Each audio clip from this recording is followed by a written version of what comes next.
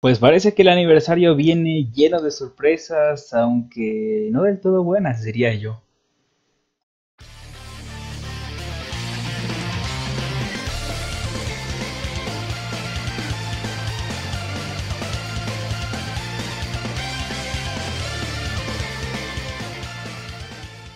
¿Y cómo están amigos? Bienvenidos una vez más a CM Games. El de hoy tenemos un video más de Digimon Rearise y sí, ya tenemos todas las sorpresas que nos traerá el aniversario, bueno, al menos esta primera semanita.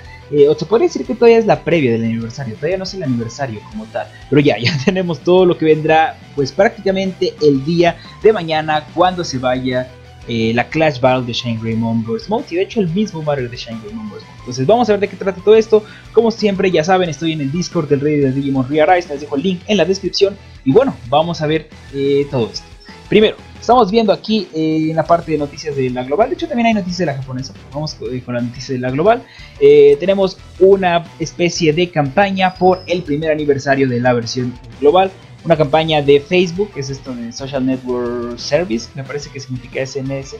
Entonces, no sé si vaya a ser de Facebook o de Twitter, de hecho, perdón, dije Facebook, pero no sé si vaya a ser de Facebook o Twitter. Me imagino que van a ser o, ¿cómo se llama? O compartir o retweet pero si llegamos a un cierto número de, repost en el periodo de tiempo, pues nos darán Digirubies como regalo, que es de hecho lo que estuvo en la, hubo en la versión japonesa y que de hecho yo mencioné que era muy probable que llegara a la versión global. Se me haría muy ilógico que ese tipo de campañas no llegaran a la versión global, parece que sí va a llegar.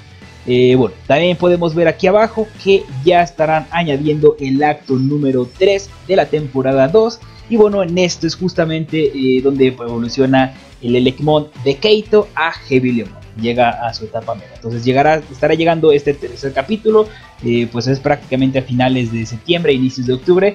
Que pues como había mencionado también en otros videos era erróneo el mensaje que habían puesto que según la temporada, el, perdón, el episodio 3 de la temporada 2 iba a llegar a, mitad de septiembre. Era completamente ilógico eso, yo les mencioné que lo más probable es que se hayan equivocado y parece que sí, se equivocaron y pues esto estará llegando pues ya prácticamente finales de septiembre, inicios de octubre, prácticamente, porque en Japón caen en 30 de septiembre, aquí caen en, caen 29. Ahora, tenemos aquí el Limited Summon y no uno solo, tenemos los dos Limited Summon que estarán llegando eh, parece ser al mismo tiempo el día de mañana en la noche, el día de mañana a las 10 de la noche. Eh, y digo que parece ser que estarán llegando juntos. ¿Por qué? Porque bueno, si se pueden fijar aquí tenemos eh, el anuncio, el banner de la Clash Battle, Clash Battle Heavy Lemon. Y aquí mismo podemos ver los DGBs de Heavy Lemon y los DGBs de Belzemon Blasphemon. ¿Qué quiere decir esto? Que pues estarían saliendo los dos. Y como pueden ver, no es como que esté Heavy Leomon y, y en el mismo banner. Vienen en banners distintos, así que pues podría decirse que tendremos dos Nimeritsuno. Digo, igual podría significar que, salga primero uno y después otro. A lo mejor la primera semana Heavy Leomon porque es el protagonista, después Belzemon.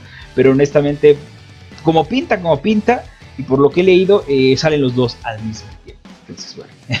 Lo peor de todo es que los banners están algo feos, si los podemos ver eh, así. Eh, digo, aquí podemos ver a Belzemon Blackmood, que es un Digimon top, pero tenemos a Metal Garurumon Brave, y este es eh, pues prácticamente basura.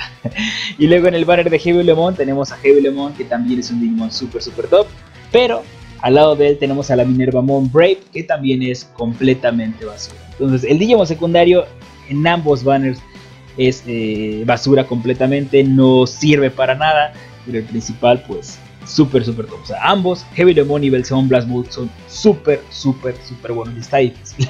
La verdad va a estar difícil decidir eh, por cuál eh, tirar.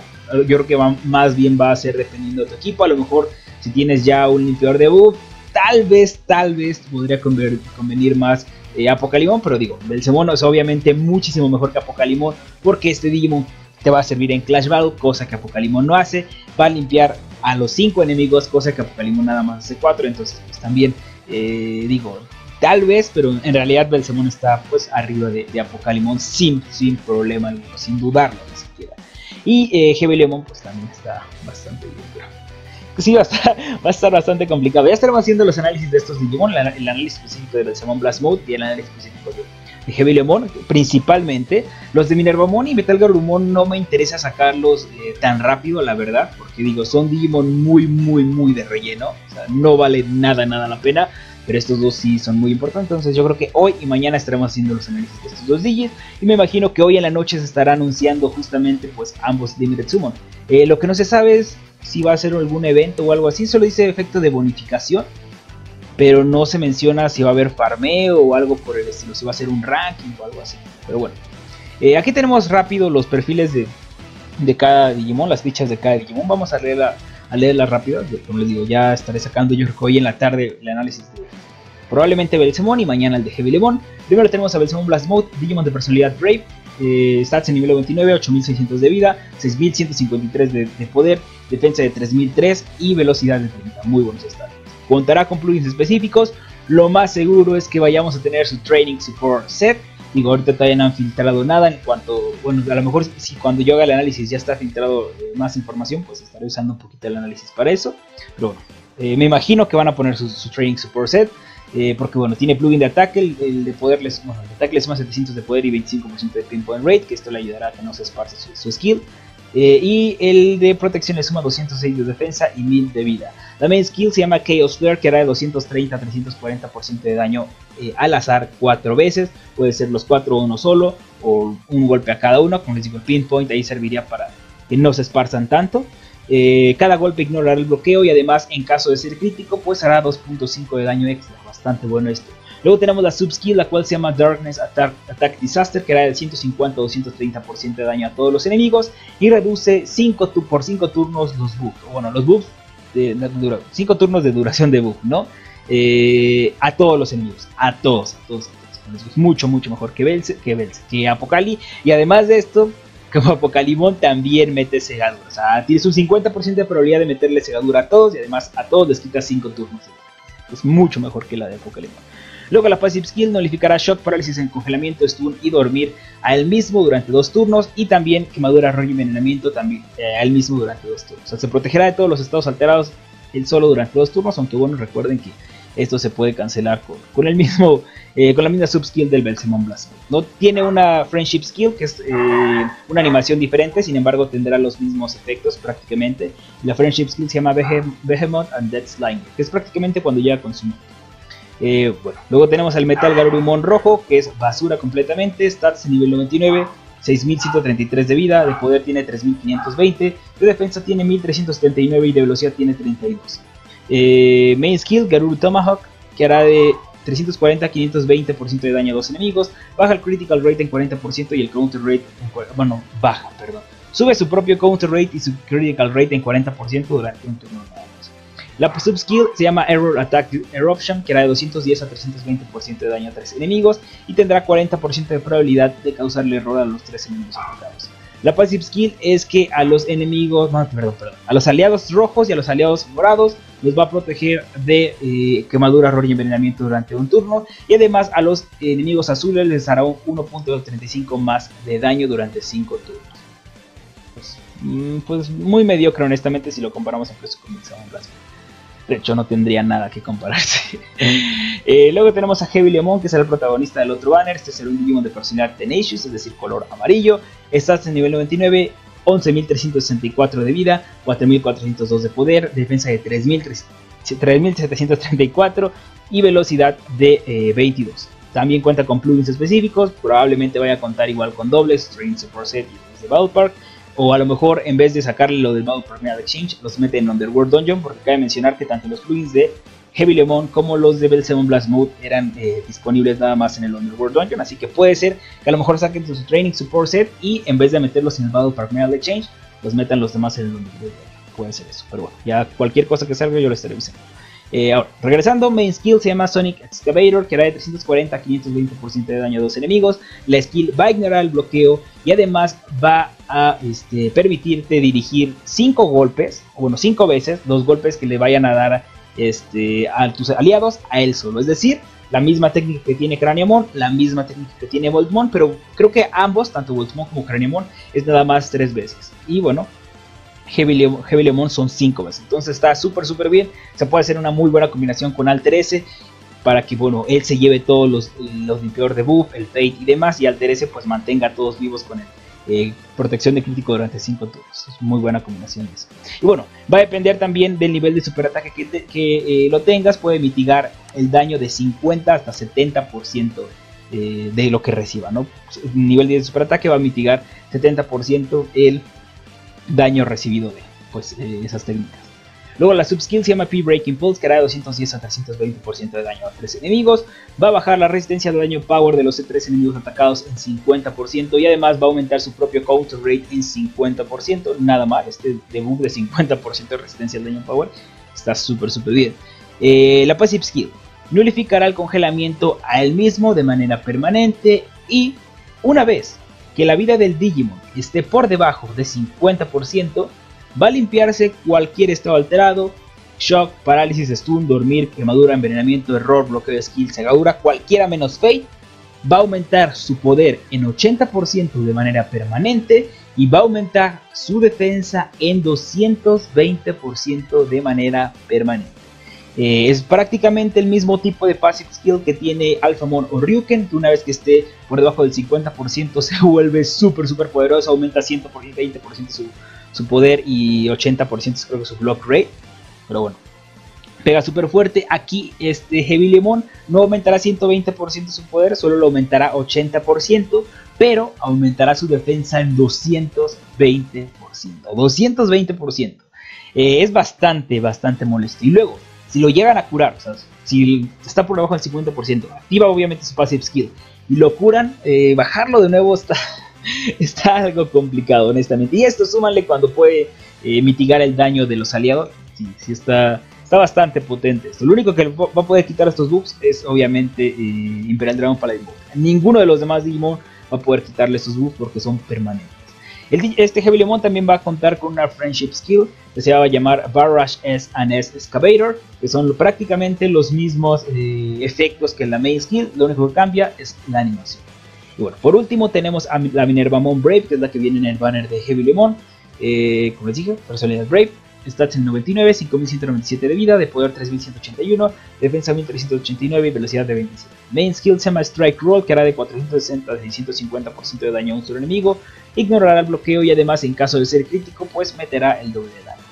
Eh, la subskill Art Charge Slash, que hará de 210 a 320% de daño a 3 enemigos, subirá el counter rate en 30% de todos los aliados y pues, durante dos turnos. Y bueno, la passive skill aumentará su propio block rate en 30% de manera permanente.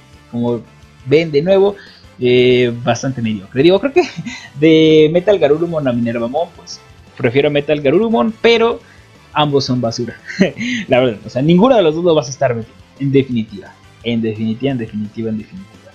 Eh, no son adiciones tan fuertes para los rojos ni nada por el estilo. Entonces, eh, si es una lástima, ¿no? Una lástima de que a los de que ambos Digimon secundarios no sirvan para nada. Imagínense sacar una animación de Omega para que te salga alguno de estos dos, pues va a estar bastante, bastante feo, pero los principales sí que están, sí que están eh, bastante bien. Ahora podemos ver aquí que ponen lo de Ranking Medal Exchange. Estas monedas son las que van a estar dando por eh, ya, ya ahorita que acabe la Clash Battle de, de Shine Greymon Burst Mode y de Belfemon, el evento este que hubo de, ranking, eh, por algunas posiciones van a estar dando estas, estas monedas. Con estas monedas puedes comprar DGBs de algunos Royal Knights, eh, huevos y cosas así. No es nada tan tan importante, honestamente. Entonces, bueno, ahorita lo que tenemos es el nuevo, el nuevo capítulo de la historia. Una, vamos a tener una campaña probablemente en Facebook o Twitter, no sé, nos, nos van a dar Digirubies.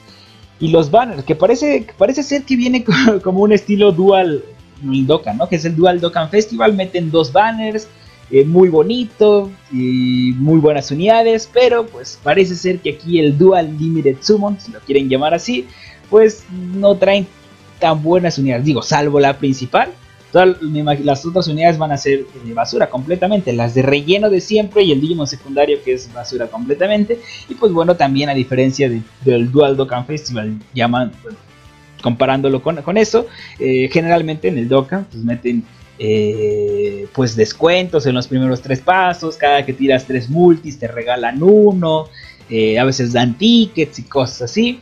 Y aquí, pues me imagino, me imagino, digo, no quiero decir que sea así, pero lo más probable que sí, simplemente serán limited summon, o sea, tal cual, o sea, 200 rubias, no hay bonificaciones, no hay multis gratis, no hay descuentos, nada Me imagino que van a ser limited summon como así corrientes, y pues eso la verdad está bastante, eh, bastante feo, quiero decir.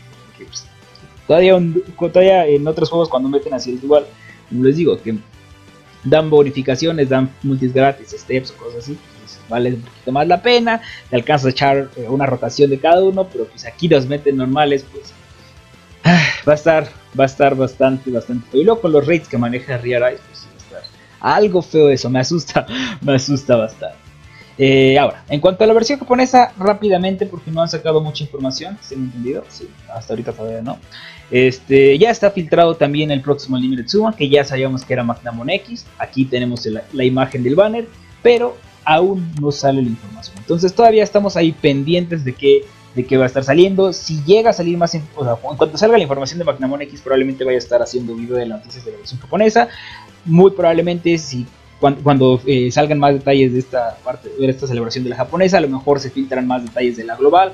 No sé, este alguna campaña o no sé, alguna cosa en cuanto a, las fechas o si la Clash Battle va a ser evento de ranking o simplemente va a ser una Clash Battle. Estoy esperando que salgan esas filtraciones, pero bueno, ya lo estaremos viendo después. Por ahora es todo lo que hay.